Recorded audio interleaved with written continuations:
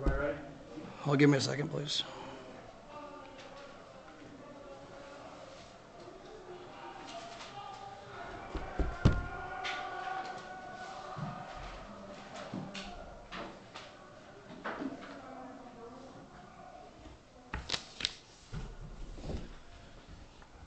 All right, gentlemen, y'all ready? All right, uh, just, you know, first off, just so very proud of our football team. Um, you know, we've talked about it, you know, since we since we started back in January. You know, it's about uh, the investment, the work, the relationships. Um, you know, we're, we've got a very confident football team in times of adversity because they, they know they've invested work. And, you know, I thought that tonight, you know, even with the adversity that showed up, you know, guys were down. Um, some guys were not available, didn't make the trip, you know, some of our best football players.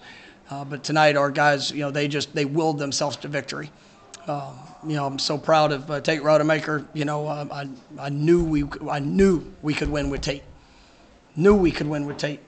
And I've seen it in practice. I've seen him work. I've seen him so much invest and be prepared for the moment. He got put in a challenging, in a challenging situation on the road. But he just went out there and responded there in the second half. You know, it is just a uh, incredible example for, for what this team is built on.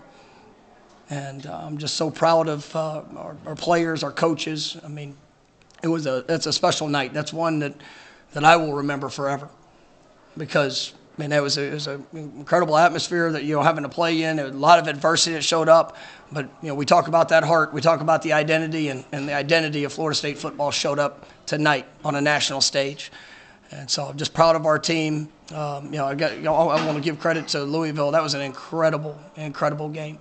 Um, they have some tremendous players. Those guys compete hard. It was uh, a physical, tough, you know, back and forth with, with the coaches, uh, you know, schematically. I mean, it was a, it was just a fun game to be a part of, and I'm just so happy for our guys that at the end, it just took one more play.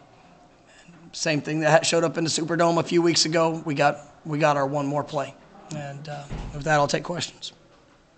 What was it like to see Johnny step up and make the plays? at Tate? Yeah, I mean, it's, you know, Johnny has been incredible, you know, through, I mean, just his growth from spring practice to this fall. We believe we got a special player there. Um, you know, we've got, you know, he sees the moment, and, you know, his size, his speed, uh, you know, going and attacking the ball. It was um, really, really an impressive performance. You take, put the ball in great places for him, and, uh, you know, to see those two connecting, I mean, that's, that's what it's all about. And you know, a lot of guys showed up big tonight. I mean, it was a uh, it was a it was a fun fun performance uh, for our football team. Just when when guys you know seize the moment and. We, tell them you never know when your number's going to be called, but you got to be ready. And to, to see guys, uh, you know, Trey Benson there in the second half, some of those runs were, were, were incredible. You know, Trey Ward continues just, I mean, an, incredible leader for us. You know, guys on the offensive line that had to battle, playing different positions, you know, moving around. Uh, the defensive front. I mean, Patrick Payton, you know, coming in for Jared. Um, you know, when he went down, and just you know the Ray with Fabien not playing tonight. I mean, we got really into our depth at D tackle, uh, just across our whole team. I can't, it's hard to point out any. I mean, it was it was a, a heck of a response, and. Um, you know, just once again, really proud of them, and, and I thought, but yes, Johnny did an exceptional job. Mike, give me a pro, uh, Louisville scored to go ahead 28-21, and it was a TV timeout. You, you talked one-on-one with Tate. What did you tell him at that point? Uh, just keep playing. Trust your eyes, trust your feet. You know, go out there and you know trust your training. That's that's the reality of it. What what he did tonight, I've seen before.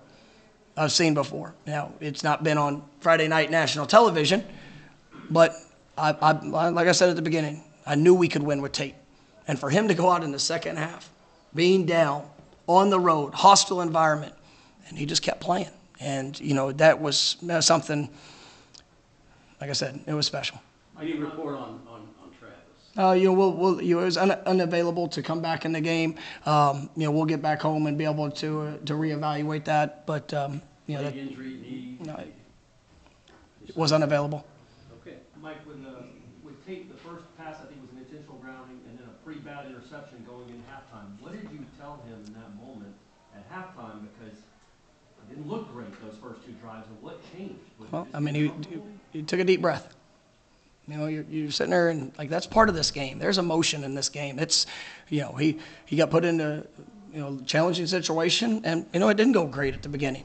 Um, but ultimately, he took a deep breath at halftime. You know, we, we knew the plan of what, what we wanted to do, and uh, he went out there and executed flawlessly there in the second half. I mean, his even even on some of the incompletions that he threw, it was just like he was he was in control.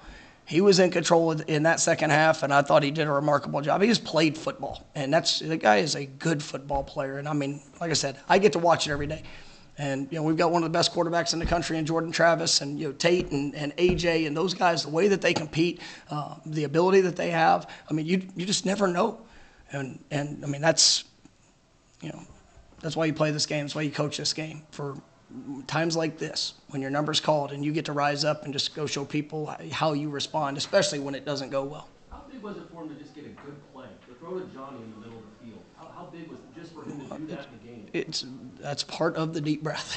you know, I mean, it's like you uh, you know you want it so bad, and you know ultimately he's you know taken absolutely a spin of football, and you know we've known that, and he's you know.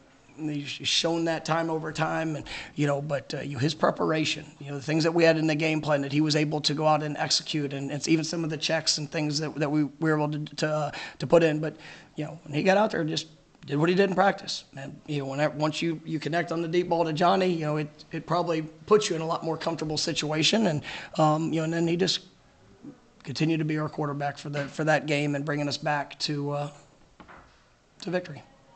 I know uh, he was probably spending more time talking to you or talking to Coach Tokars up in the box, but uh, you said, but what was Jordan doing? I mean, was Jordan talking to him? Was Jordan how was Jordan staying involved? It seemed like he was moving Absolutely, and and I told Jordan at halftime when I you know when I when I knew that he was going to be uh, that he wasn't going to be available in the second half. Um, you know, I told Jordan I said, all right, you got a job to do. It's no no. Everybody has a role. And uh, Jordan is special when he's in, in, in on that football field in between the white lines. He's special when he's off the, on the sideline too. The impact that he makes, his encouragement, his. I mean, these guys are brothers. They care about each other. I've said that since you know, we started fall camp. You, you asked me about what I thought the identity was of, of who these guys were. They are a family. They care. And, you know, even though Jordan couldn't make a play in the second half on the field, he was definitely there to help support his guys right off the field. And that's what that's what this is about. That's the, that's the thing that makes Florida State special. It is the people. And yes, they're incredibly talented young men, and they can they're they're growing up, and we're still at the beginning of our journey. Just, I mean, that's like the mistakes we made. We we've got a lot to clean up. But you know, what matters to me is that our character, our, our, our identity, the foundational elements of this program, man, we're showing what we're about. And, you know, when guys can't go on the field, right, when they're not available, but they're still making an impact, that's what, that's what makes it special. Where does that come from? Like the, the identity, the ability to respond. That's something you've seen for months, if not a year now. I guess. How have you guys built that? We coach them really hard. We hold them to very high standards, right? I'm not talking about standards that are just out there on the field, right? The standard we hold them off the field, in the classroom, in the community. Every day, the focus and the purpose is to be their best, right? It, it, tonight wasn't about Louisville. Last couple weeks wasn't about LSU. It wasn't about anybody else. What I care about is that Florida State football and the young men I get to coach can go out there every day and put their best foot forward. And then when they get knocked down, when they have a bad moment, how they get up and how they respond. Right? Uh, this program is not for everybody, but for the ones that are in that locker room, it's for them because they embrace that challenge. Because whenever you find yourself down in the second half, right, and and you know on the road and all the all the emotion and everything that's there, they can focus in on one play.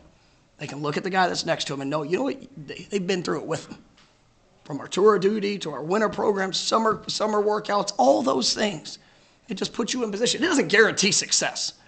Hard work does not guarantee success, but it dang sure puts you in the best position to achieve it. And that's what these guys are doing. The, the focus next week will be on us to go get better. Now, we got to heal up. We got a lot of things that we're going to have to continue to, to, to grow and improve on, and, and, and all of it. But I know the team I coach. I know the guys I work with, and I can promise you we're going to work our butts off to make sure that when we step on the field the next time, we're better than what we were today. What did you think of what you got from the defense, and how much did the absence of Fabien?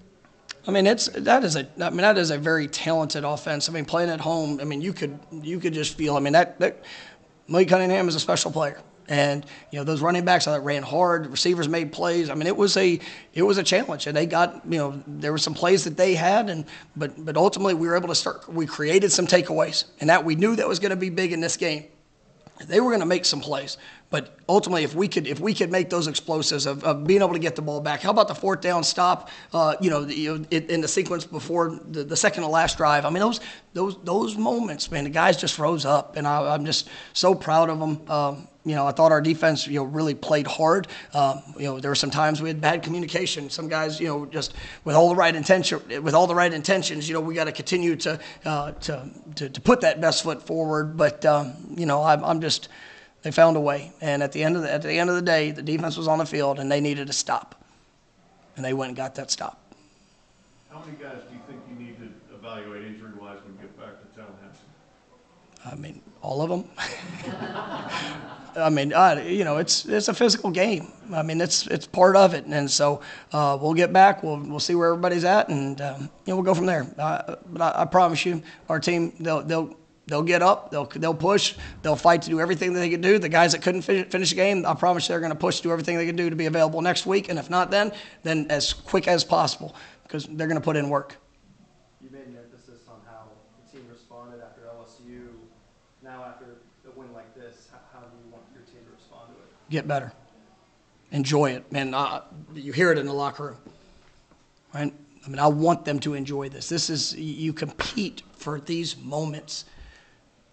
We get home, you know, we'll, we'll go and look at it. Uh, you know, I'm gonna give them, I'm gonna give them off tomorrow. They'll, they'll all be having treatments, just so you know. But uh, uh, Sunday we're gonna come back and and we will we'll go back to work. Right, we'll learn. We'll learn from the mistakes. We'll we'll celebrate the the good things that were done. But you know, ultimately, you know, the objective will never change here. You know, I'm expecting them to step on that field Sunday better than they've ever stepped on that field. And then we get, Lord willing, we get to Tuesday, we're going to go be better than what we've been. And that's that is the message. And you know, you guys, especially local guys, are out there, you know, on our bye week practice. At, we had one day that was average, right? And I let them know it was average. And then they let me know that they were going to respond, right? Because that's not who they are. And do I think that helped us? win- Do I think that helped us win today? You're dang right I do. Right? And I, I just I, I believe in the character of this team. I love coaching this team, and know where that takes us. You know we're going to continue to work. And but it's a special night and special performance by our football team, our coaches, and you know I, I do want to give a shout out to all the all the uh, Seminole family that was here. I mean, unbelievable turnout. I mean, when when you sit there in the third and fourth quarter and you hear that war chant playing, I like having to hear people boo because our because our fans are making a, making that type of impact. So I appreciate everybody that made the trip to Louisville. That was special tonight. Thank you. Time for a couple more? Oh, that was like my exit. I literally, I mean, if somebody has another question, Derek is gonna. I mean, Derek wants more. Thank you, Mike. Thank you, guys.